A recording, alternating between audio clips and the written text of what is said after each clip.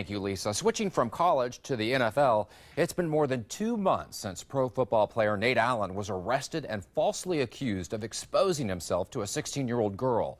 Cleared of any wrongdoing, Allen is still waiting for the results of an internal investigation promised by the Fort Myers Police Department. After two months of waiting, Councilman Tom Leonardo is defending the police chief and his tactics, while Allen's attorney says this is an insult to justice. February 16th, Nate Allen was arrested and falsely accused of indecent exposure. Evidence brought forth by his attorney, Sawyer Smith, made it clear Allen could not have been connected to the crime.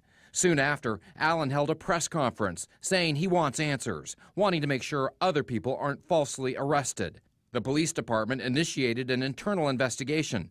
But after two months, Councilman Tom Leonardo says he wants the public to understand the reasons for it taking so long. I think they have been slow, and I think one of the reasons might be two officers apparently that are part of the investigation have been out on on sick leave, and you can't interview officers that are out on sick leave when they're not there. So that's, I think that's been part of the delay. Allen's attorney, Sawyer Smith, is not pleased with that explanation for why the internal investigation is taking so long to complete. The only thing sick is Chief Baker's treatment of civil rights.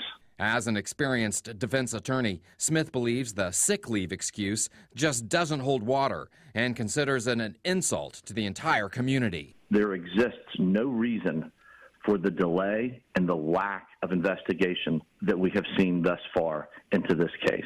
And because of that, Mr. Allen, through my law firm, will be seeking every means possible under the law to see that justice is done.